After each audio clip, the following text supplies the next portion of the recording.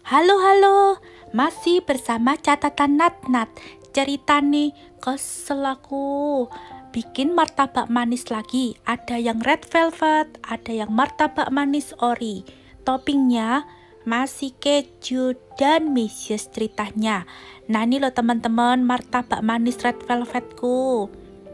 Jadi ada yang red velvetnya itu ke ungu dan ada yang ke merah muda ceritanya.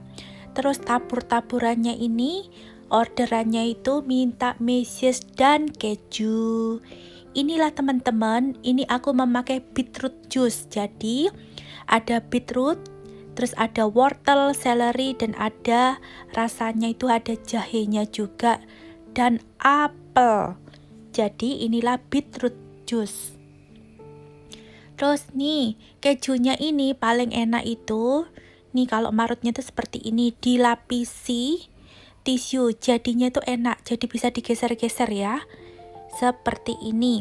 Untuk adonannya itu sama teman-teman. Jadi resepnya itu saya memakai resep yang sama sama seperti kemarin, kecuali red velvet. Kalau red velvet itu air 700 ml itu diberi atau diganti dengan jus tadi ya.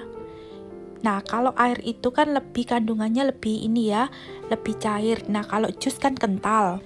Jadinya itu kalau jus itu kita beri 750 ml. Kalau air 700 ml saja cukup ya. Apinya kecil seperti ini. Nah, ini wajanku, jangan dibully ya. Kemarin aku udah cerita ya teman-teman. Jadi wajan ini tidak aku cuci tetapi aku lap dengan lap atau tisu biar tidak lengket teman-teman. Untuk adonannya sama. Langsung kalau mau langsung diklik atau ke playlist ya teman-teman. Di sana itu sudah banyak sekali resep yang aku unggah di description.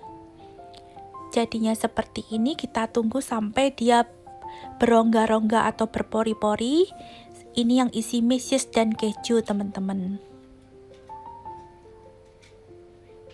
Nah, di atasnya, jadi waktu dasarannya itu disaput sama butter, diberi lagi dengan susu kental manis, keju dan meses diberi lagi susu kental manis. Setelah itu ditutup, oh, dibelah dua dulu, ditutup, disaput dengan butter lagi teman-teman. Jadi ceritanya tuh seperti itu. Hari ini tuh aku bikin 25 biji martabak manis seperti ini.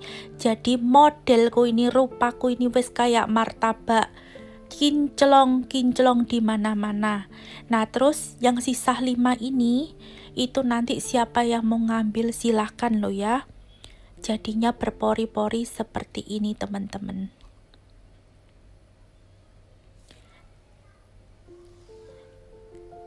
Harus betul-betul seperti ini. Jadi apinya kecil, terus dia berpori-pori ya, baru itu dinamakan martabak.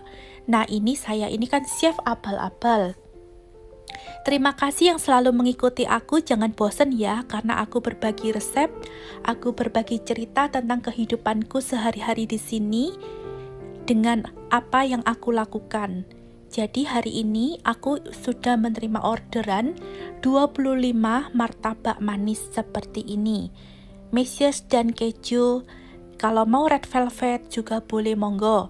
Juga ada martabak coklat, martabak asli keju semua, martabak durian, sampai martabak yang asin.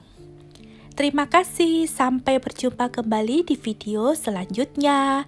Salam sayang selalu dari catatan Nat Nat. Terus semangat ya teman-teman. Bye bye.